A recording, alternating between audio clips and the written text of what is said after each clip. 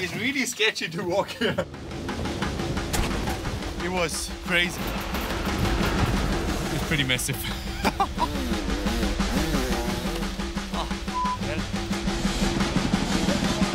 There's a lot of carnage going on.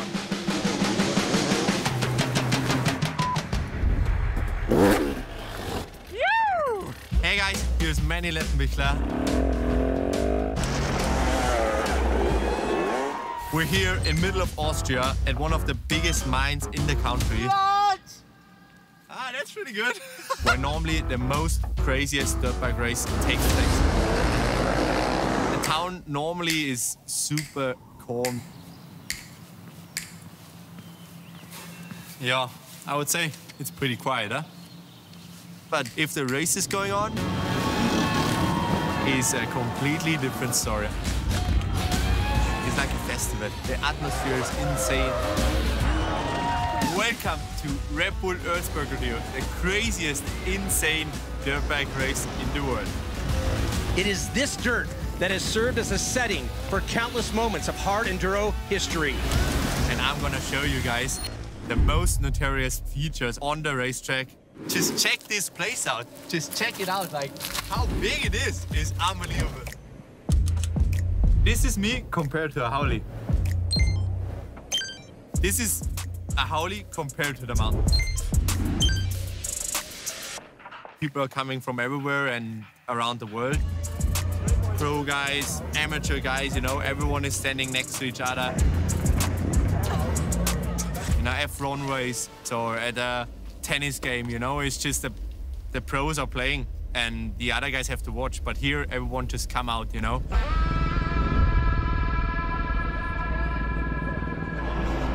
Stand where we're at right now, where normally the start takes place, is the most, most craziest start of all our races in all our sport. 500 guys down here, 50 riders per row, so we got 10 rows. We have to wait them, I would say, around two hours, and the emotions are going high. Everyone is super nervous. Like the bikes are shut it off, and kind of is is such a quiet place normally until actually the racing is going on.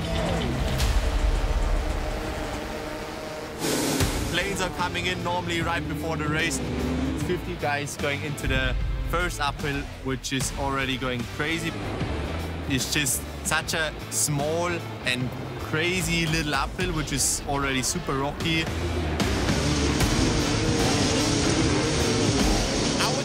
This part is maybe five minutes after the starts. Should I say water pipe or Wasserleitung?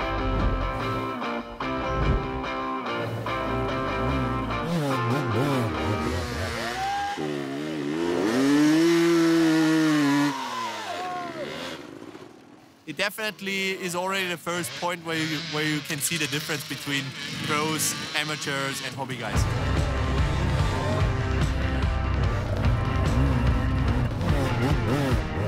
Say there are already a couple of amateur guys struggling.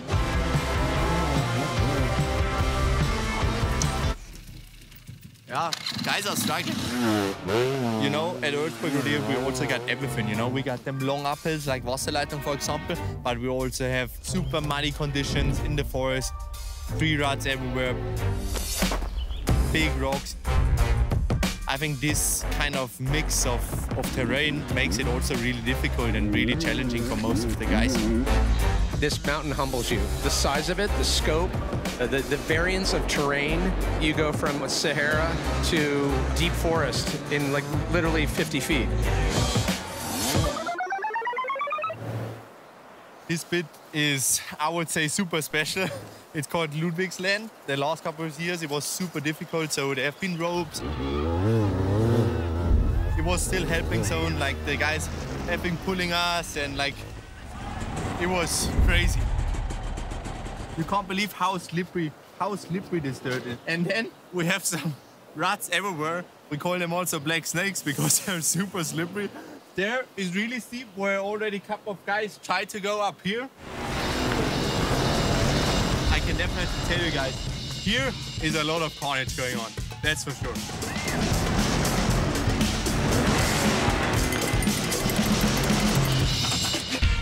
Feels like full on track walk now. Track walk with my media crew.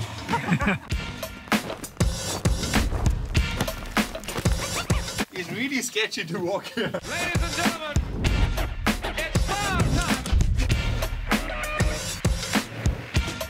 As he rocks like this.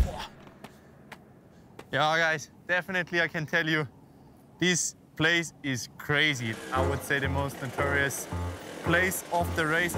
We kind of ride in here for like at least an hour. You have to lift your bike around. If you get stuck in one hole, you, you have to get it out.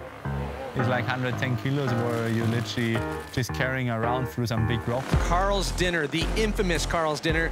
We have seen Erzberg rodeos won and lost in this space alone.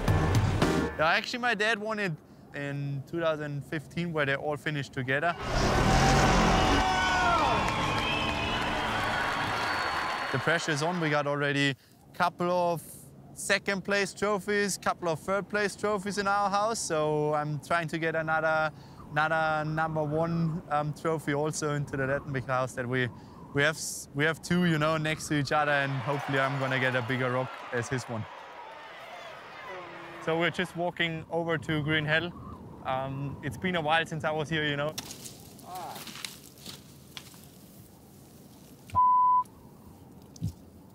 It looks definitely different than some years ago.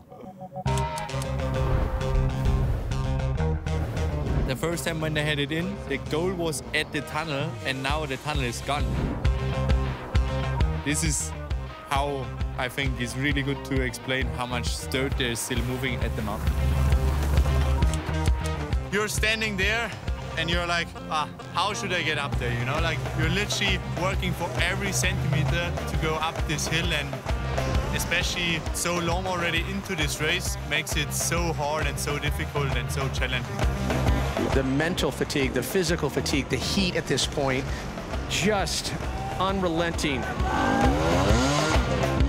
Can see how how steep it is, like from the top. Oh, hell.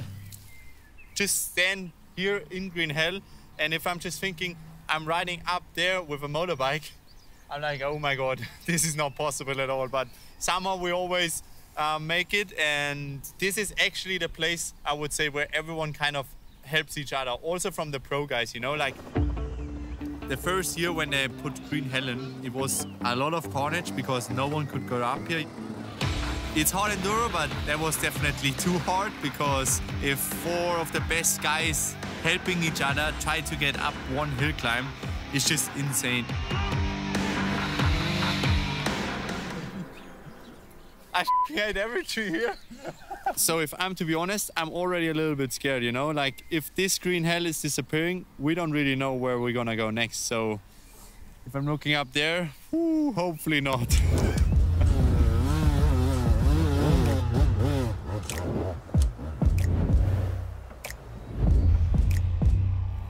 George Avenue is definitely one uphill where you need some speed for sure right from the beginning, you know, and you just hammer it down all the way to the top. Like it's such a fast uphill and just have to open the throttle, get third gear in and just pin it to the top. Check this out, how steep it is, how long it is, and I think this is what the race is about. Like downhills is always super easy because you can just throw the bike sometimes, but uphill, that's the hard thing, you know? So, um, yeah, at Erzberg especially, you know, we have some really steep uphills and yeah, I'm definitely gonna show you and hopefully I can make it up there to the top.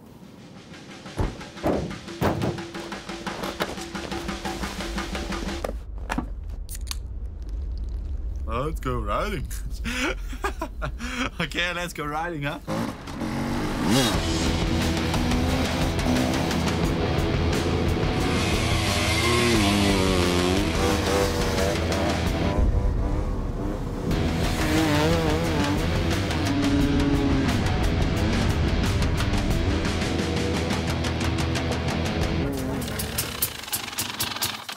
Guys, I'm just gonna show you now really quick um, how to ride up George Avenue. I hope I can I can make it to the top at the first go.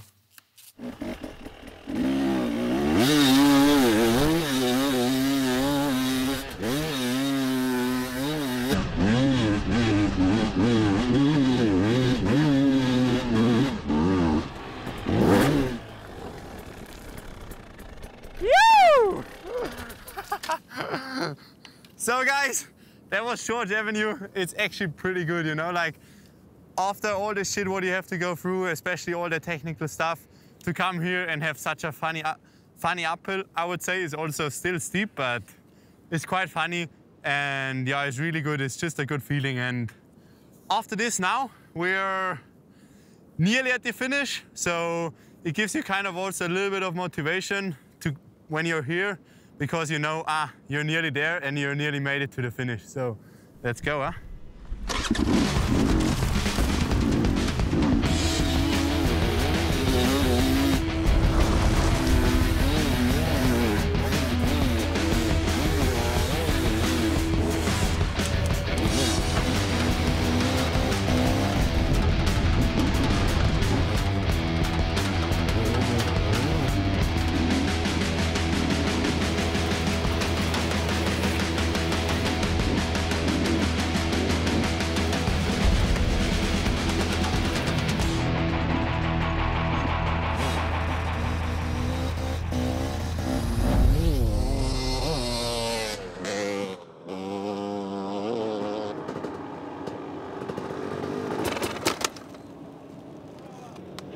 We're already back down, you know, where normally the finish is. Um, if you're here, I think everyone is just super happy, you know, like I said, there's 500 guys at the racetrack.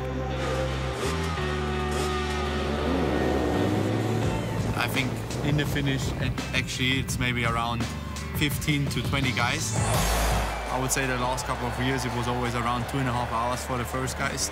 You're so exhausted and it's so brutal and so physical for your body. I'm always super happy when I'm here, like uh, especially if you're a good result, like you're over the moon. It's just the the holy grail of hard enduro. Like I already cried one time when I was at the finish. So um, yeah, this is I would say shows how much it means means to us and also to to myself. Alright guys, this is it from Red Bull Erzberg video. I hope you guys enjoyed it. Um, for myself, it's definitely the most endurance track on the planet, especially for dirt bike race. So if you're gonna disagree, just let me know in the comments and yeah, just come here and try and race it.